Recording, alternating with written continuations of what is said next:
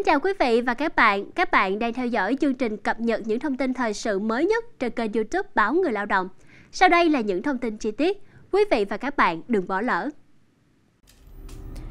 Israel bơm hàng trăm triệu USD vũ khí, đạn dược sau khi nghe tin sấm sét từ Iran. Lãnh tụ tối cao Iran Ali Khamenei ra lệnh cho Iran tấn công trực tiếp vào Israel để trả đũa vụ sát hại thủ lĩnh Hamas Ismail Haniyeh ở Tehran. Thủ tướng Israel Benjamin Netanyahu tuyên bố đã sẵn sàng, các quan chức Iran chỉ tiết lộ một phần của mệnh lệnh. Theo đó, lãnh tụ Ali Khamenei yêu cầu các chỉ huy của lực lượng vệ binh cách mạng Hồi giáo Iran IRGC và quân đội Iran chuẩn bị cả kế hoạch tấn công và phòng thủ trong trường hợp xung đột mở rộng và Israel hoặc Mỹ tấn công Iran. Các quan chức Iran được tờ New York Times trích dẫn cho biết, trong số các lựa chọn đang được cân nhắc, có cuộc tấn công kết hợp khác bằng máy bay không người lái và tên lửa, tương tự như cuộc tấn công trực tiếp vào Israel vài tháng trước, vào các mục tiêu quân sự ở vùng quanh Tel Aviv và Haifa, tránh tấn công các mục tiêu dân sự. Một phương án tấn công Israel cũng đang được cân nhắc là tấn công phối hợp từ Iran và các mặt trận khác cùng với lực lượng ủy nhiệm trong khu vực, bao gồm từ Yemen, Syria và Iraq, để đạt hiệu quả tối đa. Giữa lúc Israel trong tình trạng báo động cao, Thủ tướng Israel Benjamin Netanyahu tối 31 tháng 7 cảnh báo rằng những ngày đầy thách thức đang ở phía trước. Phát biểu từ trụ sở quân đội tại Tel Aviv vào cuối cuộc họp nội các an ninh kéo dài 3 giờ, Thủ tướng Netanyahu cho biết Israel đang phải đối mặt với các mối đe dọa từ khắp khu vực. Ông Netanyahu nhấn mạnh nước này đã sẵn sàng cho mọi tình huống và sẽ đòi một cái giá rất đắt cho bất kỳ hành động gây hấn nào chống lại chúng tôi. Thế nhưng, ông Netanyahu không nhắc đến thủ lĩnh Haniyeh. Trong bối cảnh căng thẳng khu vực gia tăng, Bộ Quốc phòng Israel vừa đặt hàng số lượng lớn đạn cối Iron Sting với trị giá 220 triệu USD từ nhà thầu quốc phòng Elbit System. Theo trang Breaking Defense, đây là loại đạn được sử dụng phổ biến trong các cuộc xung đột ở giải Gaza cũng như ở biên giới phía bắc của Israel nhằm chống lại lực lượng Hezbollah.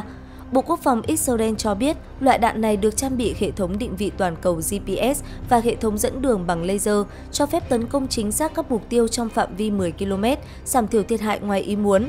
Đạn có sức công phá lớn và có thể xuyên qua hai lớp bê tông cốt thép. Iron Sting là đạn cối có đường kính 120mm do tập đoàn Elbit System phát triển và được ra mắt lần đầu tiên vào năm 2021.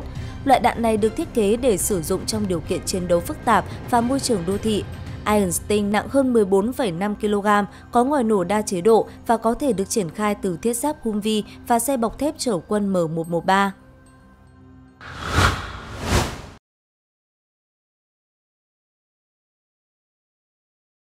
Các quan chức Mỹ được cho là đã nói với giới truyền thông rằng Iran và các đồng minh dự kiến tiến hành một cuộc tấn công quy mô lớn vào Israel trong vài ngày tới. Động thái của Iran xảy ra sau vụ ám sát thủ lĩnh chính trị Hamas Ismail Haniyeh ở thủ đô Tehran. Đài CNN đưa tin chính quyền Tổng thống Mỹ Joe Biden đang chuẩn bị cho hành động trả đũa của Iran đối với Israel. Hành động này cũng có khả năng nhắm vào lực lượng Mỹ. Tờ Axios đã chia sẻ các báo cáo tương tự, dẫn lời của ba quan chức Washington tin rằng phản ứng của Iran sắp xảy ra và có thể có sự tham gia của phong trào Hezbollah ở Lebanon. Chúng tôi dự kiến có một vài ngày khó khăn. Axios dẫn lời một quan chức Mỹ. Lầu Năm Góc và Bộ Tư lệnh Trung ương Mỹ được cho là đang bắt đầu chuẩn bị để bảo vệ Israel trước một cuộc tấn công tiềm tàng của Iran. Sự chuẩn bị này được cho là liên quan đến các tài sản quân sự của Mỹ ở vùng vịnh, phía đông Địa Trung Hải và Biển Đỏ. Cố vấn an ninh quốc gia Nhà Trắng Jake Sullivan cho biết chính quyền Tổng thống Biden đã nỗ lực hết sức để ngăn chặn một cuộc xung đột rộng hơn trong khu vực và giảm căng thẳng thông qua ngoại giao. Người phát ngôn của lực lượng phòng vệ Israel IDF, chuẩn đô đốc Daniel Hagari cũng tuyên bố trong một cuộc họp báo vào ngày 1 tháng 8 rằng các đối tác quốc tế của Israel đã tăng cường lực lượng của họ trong khu vực để giúp chống lại một cuộc tấn công có thể xảy ra. Ông Haniyeh là một trong những nhân vật hàng đầu của Hamas, trụ sở tại Gaza và là người đứng đầu văn phòng chính trị của phong trào này. Ông Haniyeh bị ám sát vào ngày 31 tháng 7 khi đang ở thủ đô Tehran, Iran. Theo Hamas, một cuộc tấn công bằng tên lửa vào nơi ở của ông Haniyeh ở Tehran đã khiến ông thiệt mạng. Tuy nhiên, tờ New York Times cho hay ông Haniyeh bị ám sát bởi một thiết bị nổ đặt bên trong nhà khách. Rùng mình với lời cuối của thủ lĩnh Hamas trước khi bị ám sát.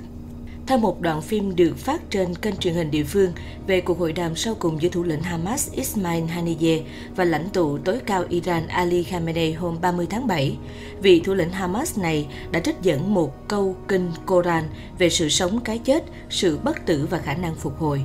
Trong đó có các đoạn Allah là đấng ban sự sống và gây ra cái chết. Allah đã biết hết mọi hành động. Nếu một nhà lãnh đạo ra đi, chỉ một người khác sẽ xuất hiện. Đoạn hội thoại bằng tiếng Ả Rập này diễn ra chỉ vài giờ trước khi ông Haniyeh thiệt mạng. Theo hãng tin Reuters, những câu nói của thủ lĩnh Hamas này phản ánh niềm tin Hồi giáo sâu sắc đã định hình cuộc đời và cách tiếp cận của ông đối với cuộc xung đột giữa người Palestine và Israel. Lấy cảm hứng từ nhà sáng lập Hamas Qais Ahmed Yassin quá cố, sự việc cũng khiến nhiều người liên tưởng đến câu nói khác của ông Haniyeh năm 1994 trong cuộc phỏng vấn với Reuters tại Gaza. Tại đó, ông Hanije đã chỉ trích ông Yassin, nói rằng không một người Hồi giáo nào phải chết trên giường trong khi Palestine vẫn còn bị chiếm đóng. Thế nhưng vào rạng sáng ngày 31 tháng 7 giờ địa phương, thủ lĩnh Hamas này đã thiệt mạng trong một cuộc không kích vào nơi ở của ông tại Tehran, được cho là khi còn nằm trên giường ngủ. Cho đến nay, phía Hamas và Iran vẫn còn cáo buộc Israel gây ra cuộc không kích, còn Israel không phủ nhận cũng không xác nhận. Sự việc này vốn đã diễn ra ngay tại Tehran chưa đầy 24 giờ sau khi sự kiện tân tổng thống Iran Masoud Pezeshkian nhậm chức và sau vụ tấn công của Israel vào Beirut, Lebanon và khiến một chỉ huy cấp cao của Hezbollah thiệt mạng đã làm dấy lên lo ngại lớn về các hành động đáp trả. Hôm 2 tháng 8, Lầu Năm Góc cho biết quân đội Mỹ sẽ triển khai thêm máy bay chiến đấu và tàu chiến tới Trung Đông nhằm tăng cường phòng thủ cho các hành động đáp trả tiềm tàng từ phía Iran và các đồng minh Hamas, Hezbollah. Các tàu chiến nói trên bao gồm tàu tuần dương và tàu khu trục. Ngoài tăng cường đến Trung Đông, Mỹ cũng tăng cường tàu chiến đến châu Âu theo sự chấp thuận của Bộ trưởng Quốc phòng Mỹ Lloyd Austin. Ông Austin đã ra lệnh điều chỉnh đội hình quân sự của Mỹ nhằm cải thiện khả năng bảo vệ lực lượng Mỹ, tăng cường hỗ trợ phòng thủ cho Israel và đảm bảo Mỹ sẵn sàng ứng phó với nhiều tình huống bất ngờ khác nhau, thông điệp của Lầu Năm Góc cho biết. Có suy đoán rằng Lầu Năm Góc có thể không thay thế nhóm tác chiến tàu sân bay USS Theodore Roosevelt ở Trung Đông sau khi hoàn thành đợt triển khai đang diễn ra. Nhưng ông Austin quyết định luân phiên trong nhóm tác chiến tàu sân bay USS Abraham Lincoln để thay thế. Tuyên bố của Lầu Năm Góc cho biết thêm rằng họ sẽ tăng cường khả năng sẵn sàng triển khai thêm nhiều hệ thống phòng thủ tên lửa đạn đạo trên đất liền. Mỹ từng có sự tăng cường Tương tự trước ngày 13 tháng 4, khi Iran phát động một cuộc tấn công vào lãnh thổ Israel bằng máy bay không người lái và tên lửa nhằm đáp trả vụ tấn công vào đại sứ quán ở Iran ở Damascus, Syria mà Iran cáo buộc là do Israel thực hiện. Lãnh tụ tối cao Iran khóc bên quan tài của thủ lĩnh Hamas Ngày 1 tháng 8, Iran tổ chức lễ tang cho thủ lĩnh Hamas Ismail Haniyeh tại trường đại học Tehran ở thủ đô Tehran và tuyên bố 3 ngày quốc tang. Lãnh tụ tối cao Iran chủ trì buổi lễ cầu nguyện trước khi thủ lĩnh Hamas được an táng tại thủ đô Doha của Qatar ngày 2 tháng 8. Trước khi bị ám sát, thủ lĩnh Haniyeh đã dành phần lớn thời gian của mình ở Doha, nơi đặt văn phòng chính trị của Hamas. Đài truyền hình quốc gia Iran đưa tin quan tài của ông Haniyeh và các vệ sĩ của ông được phủ cờ Palestine. Buổi lễ có sự tham gia của tân Tổng thống Iran Masoud Pezeshkian, chỉ huy lực lượng vệ binh cách mạng Hồi giáo, tướng Hossein Salami và nhiều quan chức cấp cao Iran. Theo đài CNN, phó thủ lĩnh kiêm người phát ngôn của Hamas Khalid al-Hayya cũng tới Tehran dự tang lễ. Báo giờ Sun mô tả ông Khamenei đã khóc khi đứng cạnh quan tài giữa những tiếng hô vang của đám đông.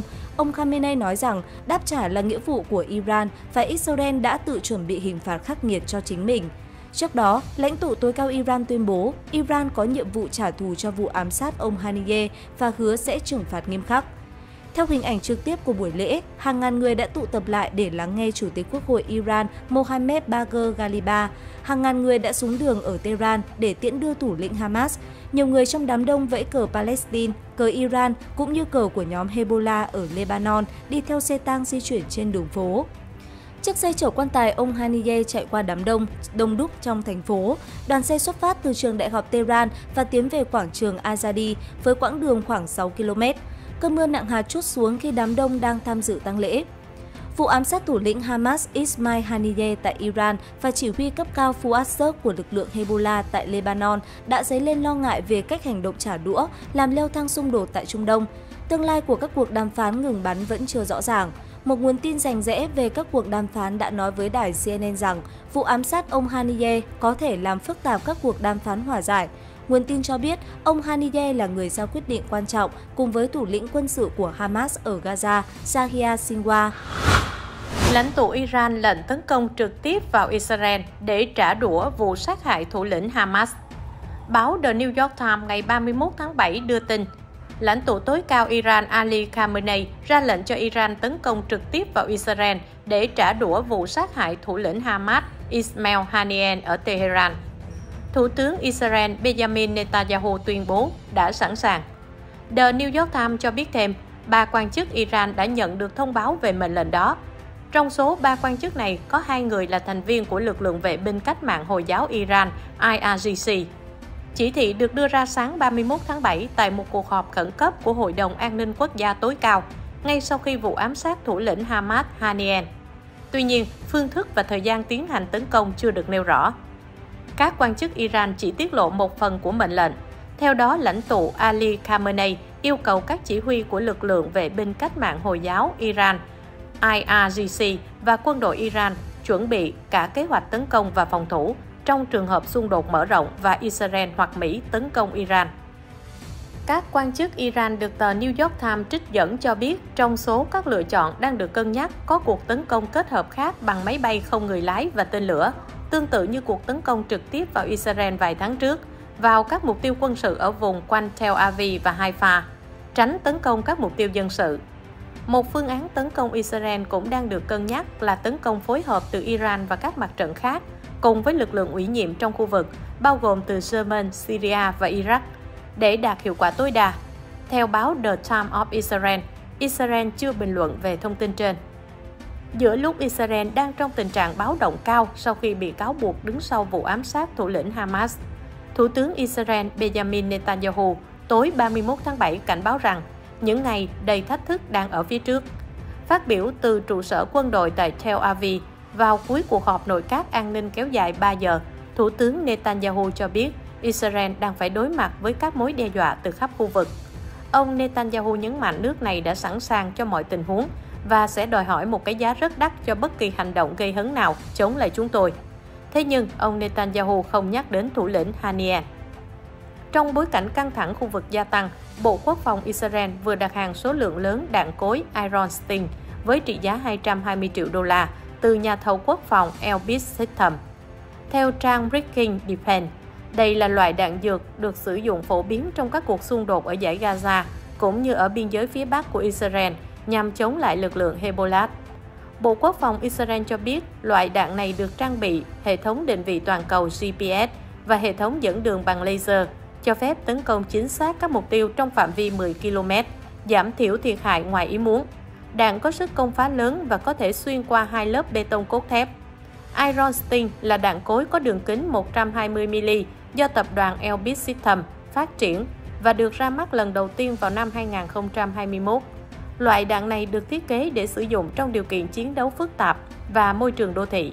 Iron Sting nặng hơn 14,5 kg, có ngòi nổ đa chế độ và có thể được triển khai từ thiết giáp Humvee và xe bọc thép chở quân M113. Hamas nhanh chóng tìm người thay thế sau khi ông Haniyeh bị Israel tiêu diệt. Tổ chức Hamas ở giải Gaza vừa gặp tổn thất lớn khi thủ lĩnh Ismail Haniyeh bị ám sát bởi một tên lửa tầm xa đánh trúng căn phòng mà ông đang ngủ ở Tehran, Iran lúc 2 giờ sáng 31 tháng 7. Câu hỏi được đặt ra lúc này là ai sẽ là thay thế cho thủ lĩnh 62 tuổi thiệt mạng khi sang Iran dự lễ nhậm chức của tân Tổng thống Masoud Pezeshkian. Hiện tại, chúng tôi chưa thảo luận về vấn đề này, một quan chức Hamas giấu tên cho biết.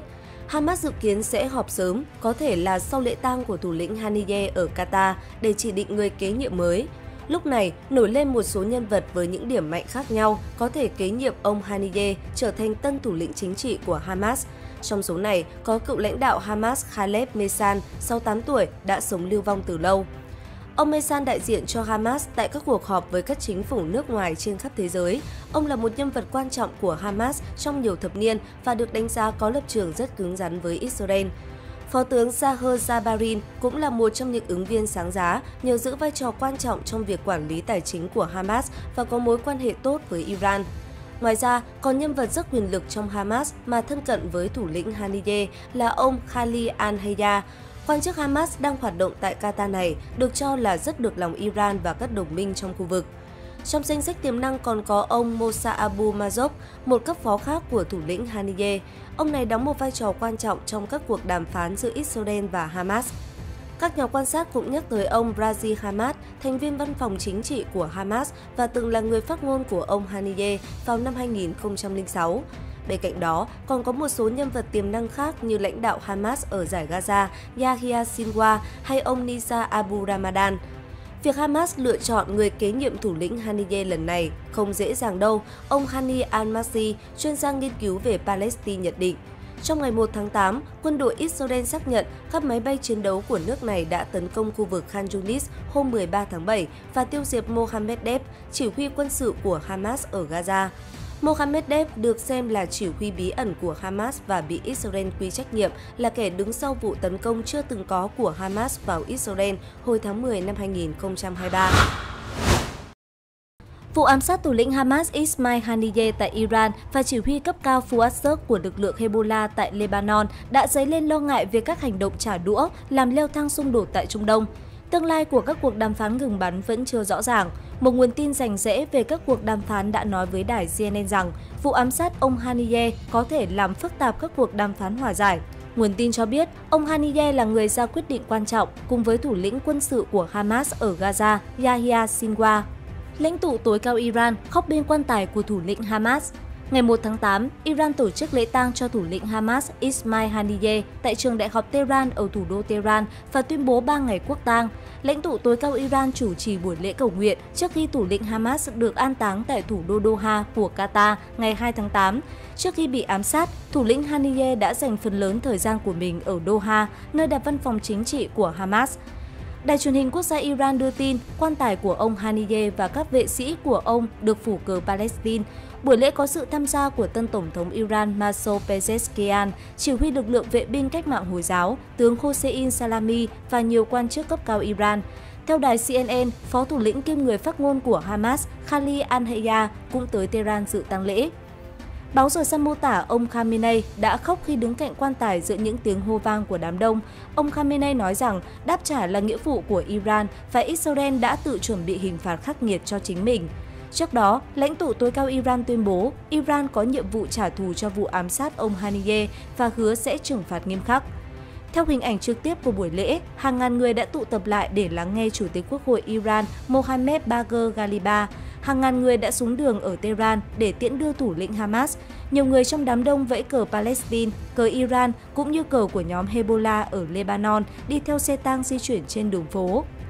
Chiếc xe chở quan tài ông Haniye chạy qua đám đông, đông đúc trong thành phố. Đoàn xe xuất phát từ trường đại học Tehran và tiến về quảng trường Azadi với quãng đường khoảng 6 km. Cơn mưa nặng hạt chút xuống khi đám đông đang tham dự tang lễ. Thi thể thủ lĩnh Hamas được chuyển đến thủ đô Doha, Qatar hôm 1 tháng 8. Sau vụ ám sát gây chấn động, dung chuyển khu vực Trung Đông, thi thể của ông Haniyeh đã được chuyển đến thủ đô Doha, Qatar hôm 1 tháng 8 để chuẩn bị cho lễ chôn cất trong ngày 2 tháng 8. Theo đài CNN, lễ cầu nguyện sẽ được tổ chức sau đó tại nhà thờ Hồi giáo Imam Muhammad Ibn Abd al-Wahhab ở Doha. Tiếp theo là lễ chôn cất tại Nghĩa trang Imam Founder ở thành phố Lusail. Trong khi đó, thủ lĩnh Hezbollah Hassan Nasrallah cam kết sẽ đáp trả cuộc tấn công của Israel vào miền nam Beirut vào đầu tuần này đã khiến chỉ huy cấp cao Fuad Shukr và ít nhất 5 thường dân thiệt mạng. Phát biểu trong đám tang của ông Shukr ở miền nam Beirut, ông Nasrallah cho rằng đây không chỉ là một hành động ám sát, đây là một cuộc tấn công. Ông Nasrallah tuyên bố phản ứng sẽ vượt ra ngoài phạm vi các cuộc giao tranh biên giới hàng ngày giữa Hezbollah và Israel, đồng thời nói thêm rằng hành động trả đũa sẽ được nghiên cứu. Ông Nasala nhấn mạnh, kẻ thù và những kẻ ủng hộ kẻ thù phải chờ đợi phản ứng không thể tránh khỏi của chúng ta. Ông cho biết Israel đã vượt qua làn danh đỏ ở Beirut cũng như ở Tehran với vụ ám sát thủ lĩnh Hamas là Ismail Haniyeh. Tuy vậy, thủ lĩnh Hezbollah không tuyên chiến với Israel. Vụ ám sát ông Ismail Haniyeh là vụ mới nhất trong chuỗi các vụ tấn công chính xác ngay bên trong lãnh thổ Iran, nơi tiếp đón thủ lĩnh Hamas đến dự lễ nhậm chức của tân Tổng thống. Các chuyên gia nghi ngờ vụ ám sát thủ lĩnh Hamas Ismail Haniyeh ở Iran có thể đã sử dụng một tên lửa chính xác đặc biệt kết hợp cùng với sự dẫn đường đến mục tiêu của lực lượng đặc nhiệm tại Tehran. Điều đó có nghĩa là một cuộc tấn công như vậy sẽ tiêu diệt được thủ lĩnh Hamas trong khi gây ra ít thiệt hại về tài sản nhất. Nhà phân tích tình báo và an ninh Israel Ronen Solomon cũng cho rằng vụ tấn công ở Tehran là một sự xấu hổ lớn đối với Iran. Khi ở Qatar, thủ lĩnh Haniyeh có an ninh dày đặc xung quanh. Tuy nhiên, ông Haniyeh chỉ có một vệ sĩ ở Tehran, nơi mà ông cảm thấy an toàn. Ông Solomon giải thích, ông Haniyeh đến cùng một nhóm người Palestine nên để lại dấu vết tình báo lớn. Họ đến từ Qatar và thường bằng máy bay riêng. Nguyên nhân của cuộc tấn công vẫn chưa được Iran hoặc Israel xác nhận, nhưng ông Solomon cho biết điều bất thường là không có dấu hiệu cảnh báo vụ ám sát. Ông Andrew Fox, nhà nghiên cứu tại Hiệp hội Henry Jackson và là cựu lính dù người Anh cho biết, việc xác định được vị trí của thủ lĩnh Hamas Ismail Haniyeh đã khiến vụ ám sát chỉ là công việc tình báo khá đơn giản. Theo kênh Iran International, thủ lĩnh Haniyeh thường xuyên xuất hiện trên các phương tiện truyền thông trong chuyến thăm đến Tehran, khiến nơi này trở thành mục tiêu dễ tiếp cận đối với Israel, dù Israel từng cam kết với Qatar sẽ không tấn công ông Haniyeh ở đó. Ông Andrew Fox nói, họ tự đưa mình vào tầm ngắm nên công tác tình báo của Israel khá đơn giản, thời điểm ban ngày khá nhạy cảm. Ở Afghanistan, chúng tôi thực hiện các cuộc đột kích ban đêm vì chúng tôi biết mục tiêu sẽ ngủ ở đâu. Trong vụ ám sát thủ lĩnh Hamas, dựa trên nhiều năm kinh nghiệm của mình, ông Andrew Fox suy đoán có khả năng là do tên lửa được phóng từ bên ngoài Iran và được dẫn đường bằng công nghệ laser chính xác do lực lượng đặc nhiệm trên mặt đất vận hành. Chuyên gia này nói, binh sĩ trên mặt đất sẽ chỉ một con trỏ laser vào đúng điểm họ muốn bắn chúng để dẫn đường cho tên lửa. Anh, Mỹ và một số nước khác có công nghệ này. Cách tấn công này gây ra thiệt hại tối thiểu và gần như không bị phát hiện với rất ít tiếng động để có thể cảnh báo. Điều này cũng đồng nghĩa với việc không giống vụ ám sát chỉ huy cấp cao của Hezbollah ở Beirut Fuad Suker hôm 30 tháng 7 khiến ít nhất 60 người bị thương và phá hủy một phần lớn của một tòa nhà. Tác động trong vụ ám sát tại Iran hôm 31 tháng 7 ít hơn nhiều, ông Fox nói thêm. Thật thông minh khi sử dụng cách này vì Tehran không bị thiệt hại quá nhiều đến mức phải trả đũa bằng vũ lực lớn. Nếu họ săn phẳng một khu phố, Iran sẽ không còn lựa chọn nào khác ngoài việc đáp trả mạnh tay. Vụ việc làm Iran mất mặt, nhưng xét về thiệt hại thì không phải là quá nghiêm trọng. Nhiều quốc gia phản ứng mạnh mẽ vụ ám sát thủ lĩnh Hamas sau vụ ám sát nhằm vào thủ lĩnh tối cao của lực lượng Hamas ở Iran vào rạng sáng 31 tháng 7, nhiều quốc gia đã có phản ứng mạnh mẽ về vụ việc. Chỉ vài giờ trước khi xảy ra vụ ám sát, chỉ huy quân sự cấp cao Fuad Shirk của nhóm Hezbollah bị sát hại trong vụ không kích thẳng vào ngoại ô thủ đô Beirut của Liban. Nhiều quốc gia đã phản ứng hai vụ sát hại nêu trên như Nga, Thổ Nhĩ Kỳ, Syria, Jordan, bày tỏ lo ngại xung đột sẽ lan ra toàn Trung Đông. Đài ABC của Úc nhận định Israel không muốn xảy ra cuộc chiến toàn diện vì họ biết rõ khả năng chiến đấu của lực lượng Hezbollah đáng gờm hơn nhiều so với Hamas. Theo báo chí khu vực Trung Đông, ông Haniel đến Tehran để dự lễ nhậm chức của tân tổng thống Iran Masoud Pezeshkian hôm 30 tháng 7 và bị tử vong vào khoảng 2 giờ sáng hôm sau tại nơi ông trú ngụ. Ngay sau đó, Hamas đổ lỗi cho Israel về cái chết của ông Haniel và gọi đó là sự leo thang nghiêm trọng. Tổng thống Palestine Mahmoud Abbas cũng tuyên bố việc sát hại ông Haniel là một hành động hèn nhát và là một diễn biến nguy hiểm. Hai vụ việc trên không chỉ là đòn giáng mạnh xuống Hamas và Hezbollah, mà còn gây ra nguy cơ cho Iran, quốc gia hậu thuẫn hai nhóm vũ trang này. Trong một bài đăng trên X, ngay sau khi Hội đồng An ninh Quốc gia tối cao Iran họp để thảo luận về các biện pháp ứng phó ngày 31 tháng 7, tân Tổng thống Iran Pezeshkian khẳng định đất nước của ông sẽ bảo vệ toàn vẹn lãnh thổ và danh dự, đồng thời khiến những kẻ ra tay phải hối hận. Trong khi đó, lực lượng vệ binh cách mạng Hồi giáo Iran IRGC cho biết Iran và các lực lượng ủy nhiệm sẽ đáp trả vụ sát hại ông Haniyeh một cách cứng rắn và đau đớn. Israel từ chối bình luận về cái chết của ông Haniyeh.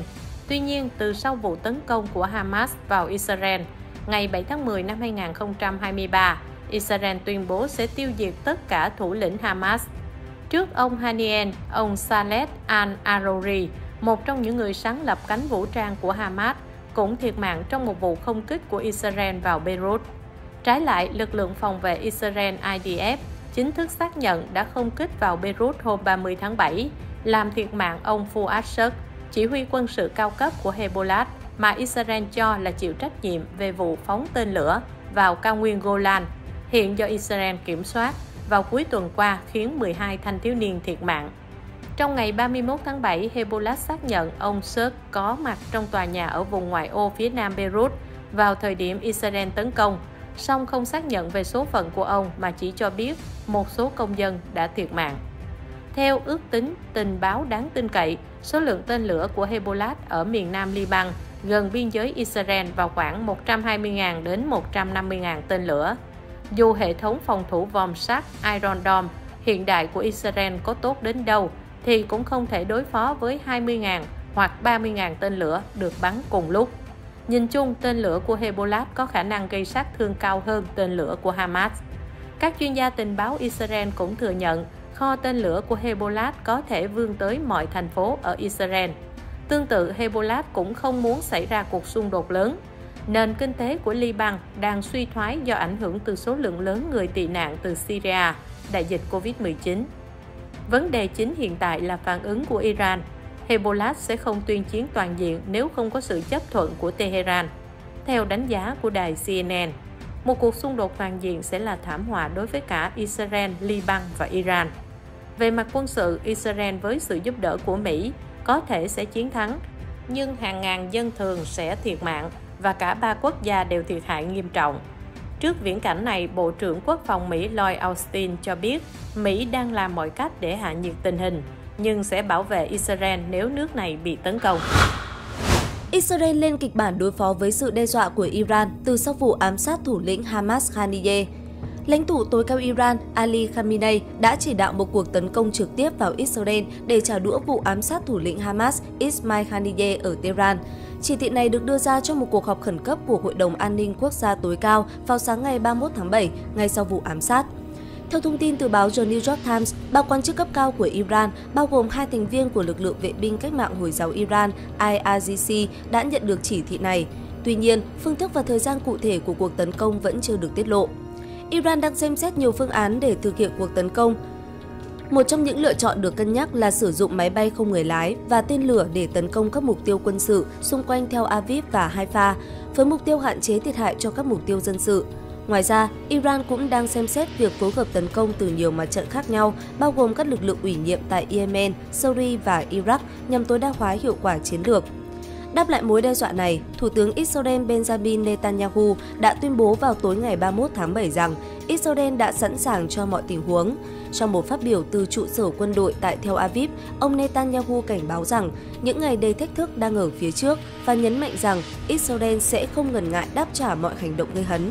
Ông cho biết Israel đã chuẩn bị sẵn sàng cho các kịch bản xung đột từ khắp khu vực. Tuy nhiên, ông không đề cập đến vụ ám sát Khaniyeh trong phát biểu của mình. Trong khi đó, để ứng phó với những nguy cơ tiềm tàng, Bộ Quốc phòng Israel đã đặt hàng số lượng lớn đạn cối Iron Sting trị giá 220 triệu USD từ nhà thầu quốc phòng Elbit System. Loại đạn này với đường kính 120mm được trang bị hệ thống định vị toàn cầu GPS và dẫn đường bằng laser, cho phép tấn công chính xác các mục tiêu trong phạm vi 10 km và giảm thiểu thiệt hại ngoài ý muốn. Iron Sting được thiết kế để sử dụng trong các cuộc xung đột đô thị phức tạp, có sức công phá lớn và có khả năng xuyên qua hai lớp bê tông cốt thép. Với sự chuẩn bị kỹ lưỡng này, Israel không chỉ tăng cường khả năng phòng thủ mà còn sẵn sàng đáp trả mọi tình huống xung đột có thể phát sinh sự gia tăng căng thẳng trong khu vực đang khiến tình hình trở nên ngày càng phức tạp và các bước chuẩn bị cho Israel cho thấy sự quyết tâm bảo vệ an ninh quốc gia trong bối cảnh đầy bất ổn hiện tại. Ai sẽ là thủ lĩnh chính trị của Hamas sau cái chết của ông Haniel? Sau cái chết của thủ lĩnh chính trị Hamas Ismail Haniel ở Tehran, câu hỏi là gương mặt nào sẽ trở thành lãnh đạo tiếp theo? Theo tờ New York Times, Ông Ismail Haniyeh là một trong những thành viên cấp cao nhất trong ban lãnh đạo Hamas, một lực lượng được phối hợp chặt chẽ mặc dù nằm rải rác trong và ngoài giải Gaza. Các nhà lãnh đạo của Hamas, đặc biệt là những người ở Gaza, đã nhiều lần trở thành mục tiêu của các vụ ám sát của Israel. Nhưng nhóm này đều nhanh chóng cử người thay thế. Cơ cấu lãnh đạo của Hamas thường không rõ ràng, nhưng dưới đây là những gì chúng ta biết về một số nhà lãnh đạo nổi bật nhất của Hamas – những người được cho là còn sống hoặc số phận chưa rõ ràng. Yahya Sinwar, thủ lĩnh Hamas ở Gaza ông Sinwar đã tham gia thành lập Hamas vào cuối những năm 1980, khoảng thời gian người Palestine nổi dậy chống lại sự kiểm soát của Israel. Ông đã bị chính quyền Israel bắt giữ nhiều lần, phải ngồi tù hơn 20 năm ở Israel, cho đến khi được thả trong một cuộc trao đổi tù nhân vào năm 2011. Sau khi thăng tiến trong hàng ngũ Hamas, Sinwa được bầu làm lãnh đạo tổ chức này ở Gaza vào năm 2017. Các quan chức Israel cáo buộc Sinwa là một trong những thủ lĩnh chủ mưu vụ tấn công ngày 7 tháng 10, cùng với Mohammed Deb, chỉ huy cánh quân sự của Hamas ở Gaza, và Marwan Issa, phó chỉ huy, người đã thiệt mạng trong một cuộc tấn công của Israel vào tháng 3. Yahya Sinwar được cho là đang ẩn náu trong mạng lưới đường hầm bên dưới Gaza. Một số lãnh đạo Hamas ở Gaza, trong đó có ông Sinwar, bị coi là cấp tiến hơn Haniyeh, thủ lĩnh vừa bị sát hại ở Iran. Khaled Mesan, cựu lãnh đạo chính trị Hamas. Sinh ra gần thành phố Ramallah ở bờ Tây, ông Mesan trở thành lãnh đạo văn phòng chính trị của Hamas vào năm 1996, chỉ đạo nhóm này từ nơi lưu vong. Hai năm sau, đặc vụ Israel đã tiêm vào cơ thể Mesa, một loại thuốc độc tác dụng chậm ở Jordan, khiến ông hôn mê trước khi được cứu nhờ thuốc giải độc do Israel cung cấp như một phần của thỏa thuận ngoại giao với Jordan. Phần lớn sự nghiệp của ông Mesan di chuyển từ quốc gia Ả Rập này sang quốc gia Ả Rập khác, từ Kuwait, Jordan, Qatar đến Syria. Khi Mesan thôi giữ chức vụ lãnh đạo văn phòng chính trị, ông Haneen đã kế nhiệm vào năm 2017. Tới nay, Khaled Mesan vẫn là người có ảnh hưởng lớn trong Hamas. Mohammed Deb, chỉ huy quân đội Hamas Mohammed Deb, một trong những nhân vật bị tình nghi là người lên kế hoạch cho vụ tấn công Israel ngày 7 tháng 10 năm 2023, đã gia nhập Hamas khi còn trẻ, ngay sau khi tổ chức này được thành lập. Năm 2002, ông trở thành lãnh đạo cánh quân sự của Hamas. Lữ đoàn Qassam, kế nhiệm người sáng lập, thiệt mạng trong một cuộc tấn công của Israel. Kể từ đó, ông Deb được cho là người dàn dựng nhiều cuộc tấn công vào Israel bao gồm một loạt vụ đánh bom liều chết vào năm 1996. Đầu tháng này, lực lượng Israel đã bắn phá một khu vực ven biển đông đúc của Gaza bằng đạn dược hạng nặng nhằm tìm cách sát hại ông Deb. Nhiều người Gaza đã thiệt mạng trong cuộc tấn công. Israel cho biết họ tin rằng Deb có thể đã chết, nhưng số phận của nhân vật này hiện vẫn chưa rõ ràng. Theo tình báo Israel, Deb đứng đầu danh sách những kẻ khủng bố bị truy nã gắt gao nhất của Israel trong nhiều thập kỷ và đã thoát chết qua ít nhất 8 cuộc tấn công nhằm cướp mạng sống của ông ta. Khalid al-Hayya, phó lãnh đạo Hamas ở Gaza. Ông al-Hayya sống lưu vong, từng là quan chức của Hamas trong nhiều thập kỷ và hiện là cấp phó của ông Sinwar. Ông sống sót sau một vụ ám sát của Israel vào năm 2007 khi đó, cuộc không kích nhằm vào nhà Hayya ở Gaza đã khiến các thành viên trong gia đình thiệt mạng trong lúc ông không có nhà. Trước vụ ám sát ở Tehran, Hayya đã được cho là ứng viên kế nhiệm ông Haniel trong các cuộc bầu cử nội bộ Hamas trong tương lai. Thông tin cập nhật vừa rồi cũng đã khép lại chương trình của chúng tôi. Chúng tôi mong nhận được sự quan tâm và đồng hành của quý vị dành cho kênh youtube Báo Người Lao Động. Cảm ơn quý vị và xin hẹn gặp lại ở những chương trình tiếp theo.